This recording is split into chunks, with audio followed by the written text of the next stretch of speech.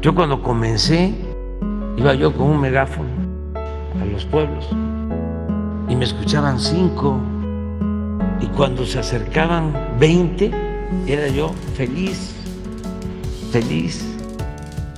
Una de las cosas que nunca voy a olvidar es que saqué un aplauso en un camión urbano, que como dicen los veracruzanos, le zumba, porque me subía yo con unos volantes. Entonces hablaba yo. Ya es tiempo de despertar. Hay que acabar con la corrupción. Tiene que haber democracia.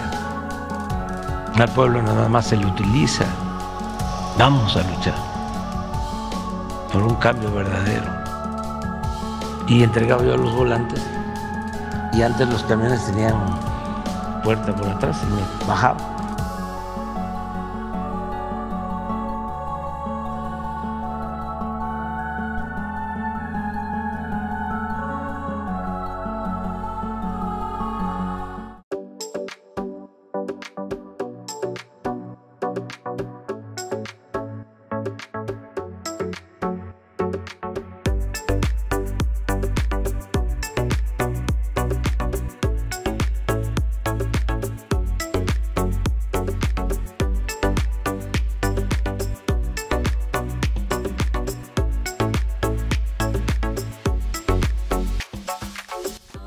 Ya nos estamos eh, subiendo al tren.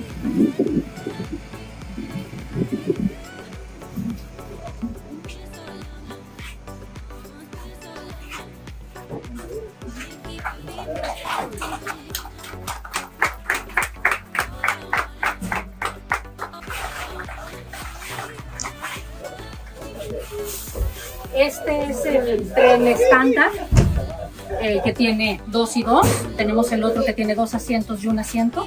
También el, ca- el cafetería le va a encantar. Está divino, de verdad.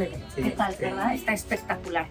Eh, todos los asientos cumplen con las normas, incluso son más amplios que las normas, son más amplios que cualquier asiento de avión, cómodos, tienen las conexiones, eh, falta instalar todas las pantallas y algunas cosas porque tenemos que desensamblar cosas para el, para el traslado que se tienen que terminar en estos días.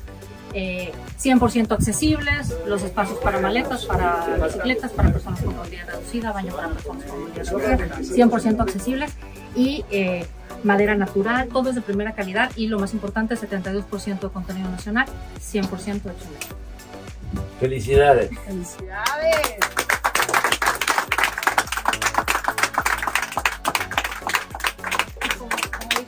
Este tren tiene corazón, aquí está el corazón de México. Lo veíamos ahora que venía pasando. La gente sale a aplaudirle, a echarle porras. La gente lo siente suyo. De verdad es el primer tren que tiene corazón. Gracias. Nos tardamos seis horas de que llegó a hacer el, eh, eh, el, el embalaje, quitar todo. Eh, pero los espacios están muy bien, tiene el, el espacio para, para el conductor, para un copiloto. Los espacios son muy amplios, muy seguros. El cristal con el parabrisas eh, puede, no es que esté blindado, pero resiste cierto calibraje. Eh, protección de colisión 3, es decir, toda esta parte es de acero al carbón. Todos juntos estamos haciendo historia. ¡Que viva el tren Maya! ¡Viva! ¡Que viva los trabajadores de México! ¡Viva! ¡Viva México! ¡Viva! ¡Viva México! ¡Viva! ¡Viva México! Esta obra se logró a pesar de cientos de amparos y denuncias. Y es que cuando un conservador te dice que no está en contra de algo, en realidad sí lo está. Me encuentro aquí a las afueras de la Fiscalía General de la República, donde acabo de denunciar al titular de Fonatur por la tala ilegal en la selva maya. No estamos en contra del tren. Celebro la suspensión definitiva del tramo 5 por parte del juez Adrián Novelo de Yucatán. Señor presidente, nadie está en contra de la construcción del tren Maya. Yo nunca dije que había que quitarle los programas sociales a los adultos mayores. Yo estoy de acuerdo en apoyar a los que menos tienen, por supuesto que estoy de acuerdo en esas transferencias, pero me parece que es insuficiente. Algo que aprendí de mi abuelo es ganar tu comida trabajando. Y creo que lo que tenemos que hacer, lo que tenemos que hacer es que estos apoyos sean temporales, darles habilidades, darles educación, certificación laboral, competencias laborales, generar fuentes de empleos para que la gente pueda salir adelante.